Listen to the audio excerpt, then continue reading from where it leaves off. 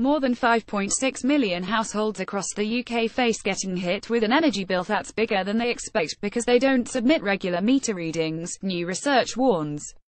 A survey of over 2,000 adults conducted by Uswitch, a price comparison and switching service, found that more than half of energy customers had in the past received a bill that was higher than they were expecting, following a period of estimated bills.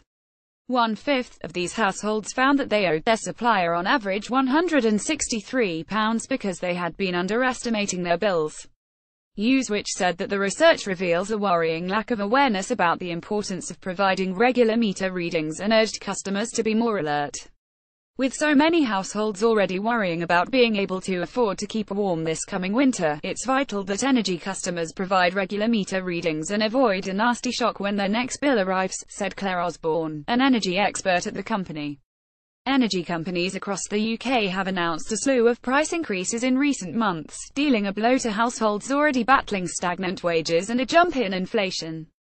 Only 30% of those questioned by Uswitch said that they would easily be able to afford to pay a bill that was significantly steeper than expected. A total of 28% said they would be forced to ration their energy use, 17% said that would have to dip into their savings, and a further 17% said that would struggle to pay the bill at all. More about energy bill use which energy cost reuse content.